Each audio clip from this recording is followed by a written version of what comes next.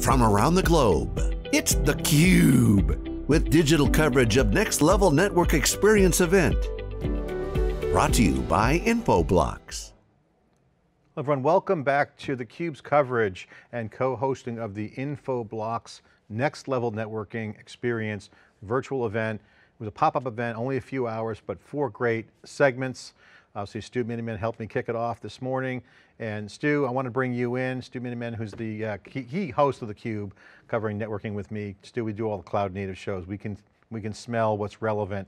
And I want to get your take on this because um, you know, Infoblox putting out some pretty good content with some great guests. Um, but next level networking, let's just unpack that. Next level networking and next level networking experience. The word experience changes the context of that definition because going the next level with networking is one thing. Having an experience is another. Just what's your take? You've seen, we're talking about this all the time. What's your take? Yeah, so John, you know, one of the words that we've talked about so much is, you know, how do we simplify this environment? Networking is known for its complexity. Uh, too often it's you know stuck down in protocols uh, and just the arcane arts that I don't want to think about. Networking at its best uh, is just going to work and I don't want to think about it. So if I'm adopting SaaS models, if I'm going cloud native, uh, it should you know tie into everything else we're doing. What I was hearing the themes, John, in the interviews you discussed, you know, they're talking about SaaS, they're talking about cloud native, things like visibility, moving real time really changes so much of these environments. So, you know, IP addresses used to be a lot more static. We know now things just change constantly, and that's one of the big challenges. How do I monitor that, that environment? How do I keep them secure? Uh, and, and that's where modern environments need to go to the next level uh, to be able to keep up with all of those changes. You know, I, the word experience means something to me in a sense, I think contemporary, right? I think something new, relevant and cool. And Stu, we're old enough to remember the uh, 80s and 90s and I was coming out of college late 80s and I remember um, I never had a punch, never did a, any programming with a punch card.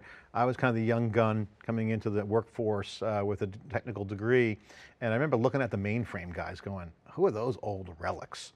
You know, and they, those guys hung on to their job as long as they could. And the smart ones moved and said, hey, I'm going to jump on this mini computer bandwagon. Oh, this inter-networking and local area networking that the PC toys are attaching to. That's interesting. And so you had a migration of systems talent move to the new, the new way. Some didn't. And I look at that and I say, hmm, that's similar to what's going on in networking. If you're the old networking guy or gal and you're hugging onto the router or you're hugging onto that old way, you could be extinct because there is a new experience coming. It's programmable, it's automation, it's different. It's not the big old way similar to the mainframe. So a lot of psychology in this networking industry right now is, and the young people come in and say, what, why we do it that way? This to me is about next level networking experience. Your, your reaction to that? Yeah, well, John, it's been interesting here in 2020. You talk about the acceleration of things moving. People that were dipping their toe in cloud and have to move in a matter of weeks, if not you know hours and days, uh, to get things up and running. So you know leveraging software, open source is a big component of what a lot of companies are doing, and of course, cloud and that cloud experience means in the public cloud, in edge environments. Uh, you talked a bit about IoT in some of these cases. The order of magnitude of networking challenges that are out there are such that I have to have automation. It needs to be simpler because I could not do things the manual old way. You know, John, I, I lived through so many generations. You work with the people in the networking. It's manually done. It was done via CLI because I knew how to do it. Maybe I did some scripting, but in today's day and era, things change too fast and the amount of work that needs to be done is so much. So that, that's why automation needs to be front and center. Uh, and you, you see Infoblox as some of their new solutions, especially uh, leveraging SnapRoute, take advantage of uh, the, the modern way that people need to do things. Well, we actually did a deep dive on SnapRoute and it was super impressive. Again, I thought it was way too early, but they were doing some stuff with Kubernetes, thinking, thinking like Linux kernel, low level thinking. And I think, Stu, this is what I want to get your thoughts on because in the industry, we cover Cisco aggressively. We saw them buy OpenDNS, managed services versus low level. You got automation, you got Amazon out there. I mean, hell, I can just have a, a screen that goes in and manages my DNS in the cloud. I can start thinking differently about how I wire my services together if I think about Amazon, for instance, or hybrid and multi-cloud. This is a whole new, new new level of thinking. And, and these are going to be new solutions. And, and this is the theme that came up and it's come up across every single major vendor, whether we're talking to Google, because they have a pretty damn good network. You got Cisco, you got Juno, all these people out there, they got to reinvent themselves. And new expectations require new solutions. This has been something that's clearly coming out of the COVID that, you know what? I like working from home. I'm more productive. We don't need the real estate costs. Why, why do we even need a VPN? Why we over provision? What are we paying for? Let's just build in secure. So again, all these projects are going to come out of the woodwork, I think, that are going to create uh, a new vendor, a new brand, or new opportunity because these new solutions need to come because the demand has been highlighted by COVID and other cloud scale.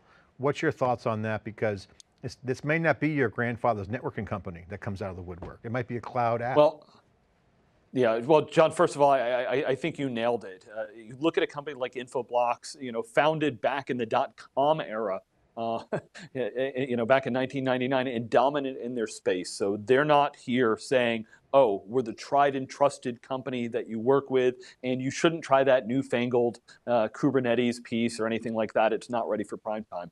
As you said, they're getting, uh, they're looking to skate where to where the puck is going. Uh, they are aggressively going after these environments to make sure uh, that they maintain their leadership in this environment. Uh, and you're absolutely right. You know, for the longest time, generally in networking, you were talking about it was Cisco and everybody else out there. But now the cloud is such a big piece of what's going on.